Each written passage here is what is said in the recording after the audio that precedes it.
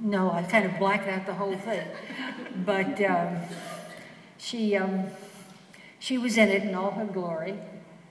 And um, the, it was published. And uh, I knew I would have to, she's a friend of my mother's. I knew I would run into her sooner or later. And I really sort of quaked in my boots because one, she had a habit of having tantrums. And um, well, she was, she was a horrible woman. So uh, anyhow, I had to run into her. It's, it was some large gathering. And when I got tired of hiding behind the potted plants, I had to come out. She, she, she rushed up. Oh, my dear girl, uh, you can't, I, I, just read your story. And I thought, here it comes. Uh, but, um,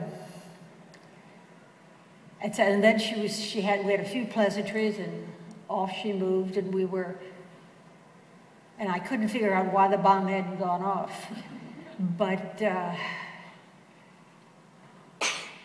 when I, I, met her again, she, she was shadowing me all that. It was one of these silly ladies' receptions. She shadowed me